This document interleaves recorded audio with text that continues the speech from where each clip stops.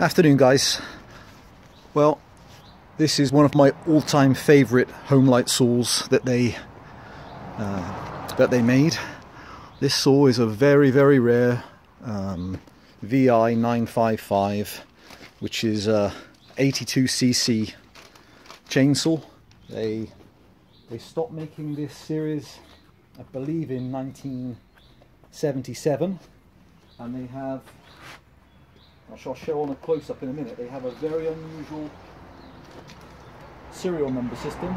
So it has the original serial number badge and it's a saw which is in my private collection and it's just been for view by me.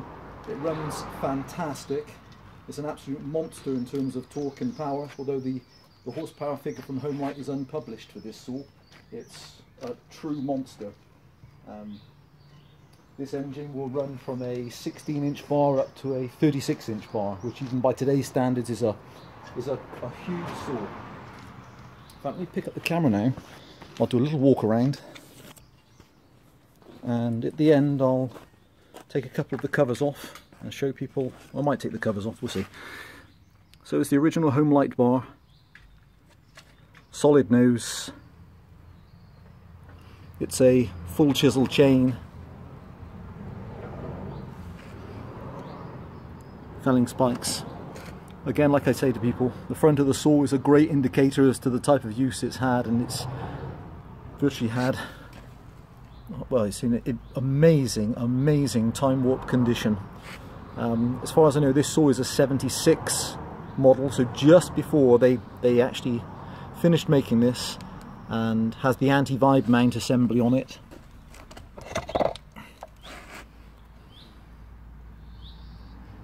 Under the side of the saw is beautiful. Rubber bushings on the handle, beautiful. Kill switch.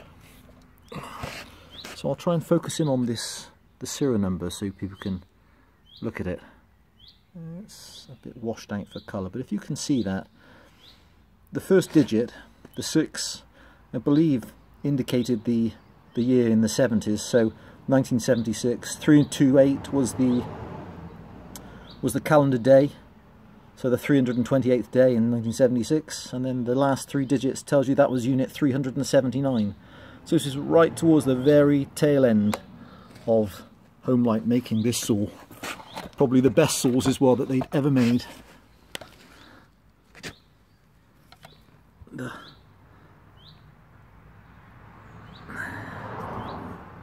choke, manual oil pump as well as an auto oiler very unique chain catcher assembly. Top oil fill and top petrol fill.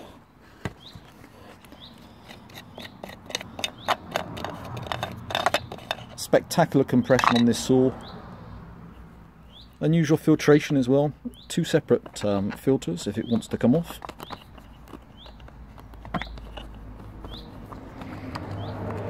Second. Okay. So, primary filter, little secondary shroud, little felt filter, um, which catches any debris if there was anything inside, stop it getting drawn into the intake.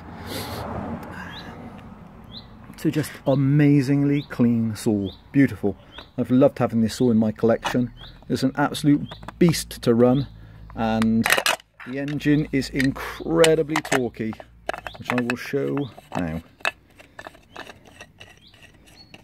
Anybody interested? Then you're very, very welcome to come out. It's a rare saw. You will, I don't say it lightly on some of the saws that, um, even the detail that they used to make, a little brass insert, a brass filter for the air release from the petrol to help vent it. I don't say it lightly, you would struggle anywhere to find a saw this CC, this make, in this condition. The grill is in beautiful condition. All original screws in amazing condition. And I've kept it, I've laid it with some some layup oil and just so that it none of it obviously rusts or tarnishes or go over. And so it, I've tried to maintain it exactly as it as it came to me. Little on off switch original. Even the little protective shroud so you don't hit the button accidentally. Okay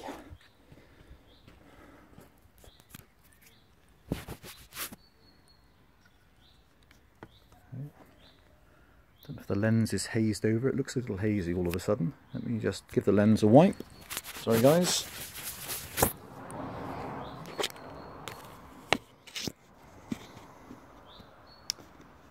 Okay, so I shall start the engine, show it running.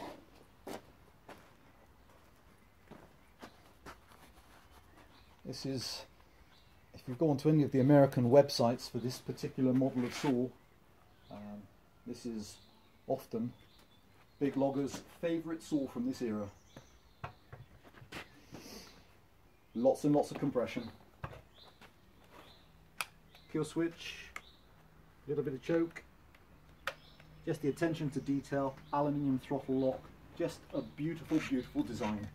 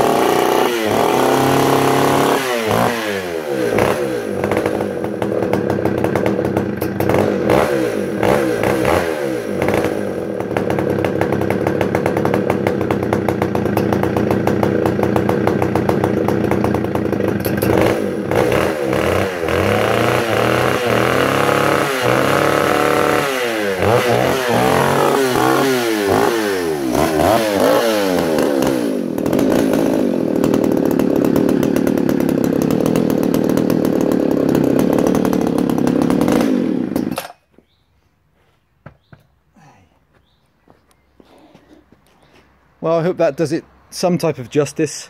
It's an incredible, uh, it's an incredible engine, and like I say, I haven't cut with it. I'll take the covers off actually and show a little walk around for people because I think it's, it really is deserving to see inside to see one how it's constructed because they, the engineering on them is immense, and also you can, everybody can see the condition of the parts inside.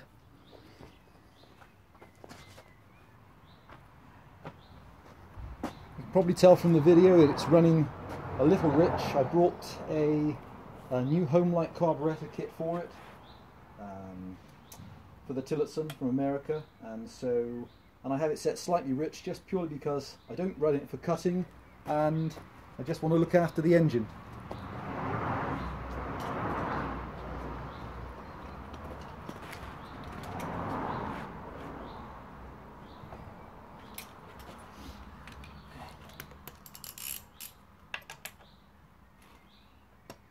I'll quickly take off the covers so people can have a little look at it. It's interesting as well to see the chain guide plates because you'll get a great idea of how much use a saw has had just by looking at the chain the chain guide plates and how much wear they've, they've accrued over a period of time. Um, what's also very, very unusual with this saw, it's you can even tell from the the bar nuts, they, they have no scarring on them, they're in great condition. It's very unusual to find the original Homelite chain catcher. The cover is undamaged, a little bit of paint missing off the top, a little bit of pitting in the aluminium. The guide plates are pristine condition, they're beautiful, barely touched or skimmed by the chain. That. This is a big bar, so it's a nominal 22 inch bar with a full chisel chain.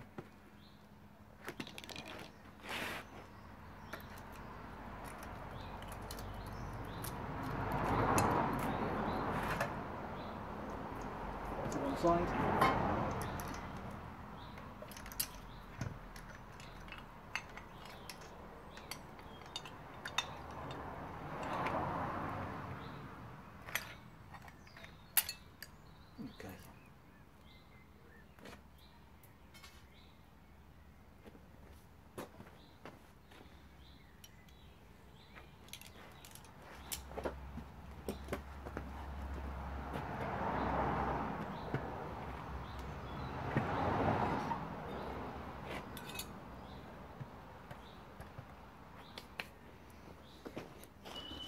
Okay, like I said, don't want it to be too long a video again either, but it's the type of thing where you will not see a saw in this condition very often.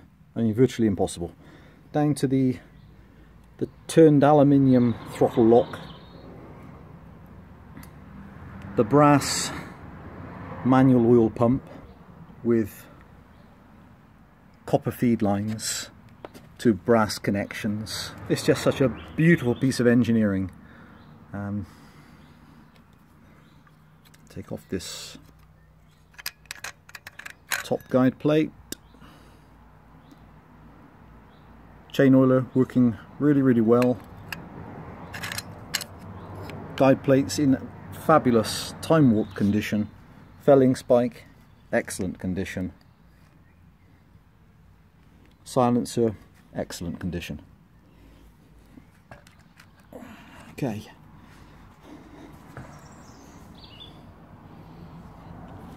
Right. What I will do for speed, I will quickly put the camera back down. I'll take this side cover off as well. I think it's, I think it'll be important for people to be able to see under the pull start housing, and give you a real true representation of the condition of the saw. So I'll be as fast as possible.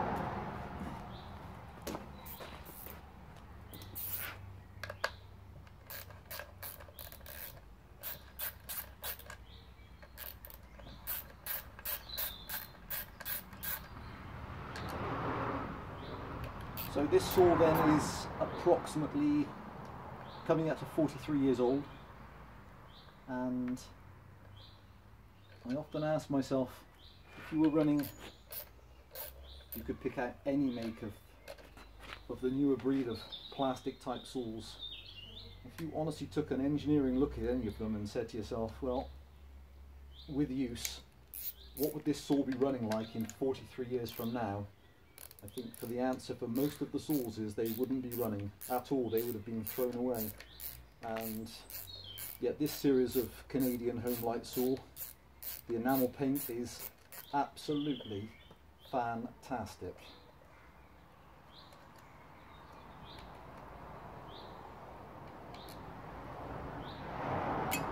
It's a shame they didn't ever disclose the, the horsepower figure for this particular engine. It would have been, would have been great to have seen.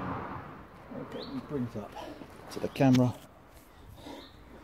So, inside, the original Homelite handle.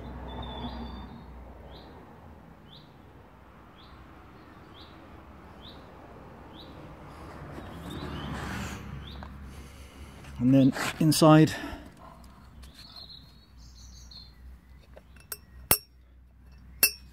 both starter pulls fine, paint beautiful inside, coil. And you can see the fins on the engine. How clean the engine is. Not heated up and then tar and fuel baked onto it. Just in amazing condition okay guys so thanks for watching um, I've had a few messages from people asking you know some of these saws why aren't you cutting with them if they're okay well all I would say to people is if, if you if you need to ask that question, these probably aren't the right saws for you. These these are engineering feats and bits of engineering beauty which you just you just cannot buy them like this anymore anywhere. So to get them in this condition, um, so yes, it is a saw you could definitely cut with. I'm sure if you retuned it and got it ready for cutting, sharpened the chain, yes, undoubtedly you could cut some big lumber with it. Uh, for me, that's not why I bought this saw. So it's up on eBay for spares or repair. Any questions, anybody wants to come and take a look at an amazing piece of history, you're more than welcome. Thanks for watching. Bye for now.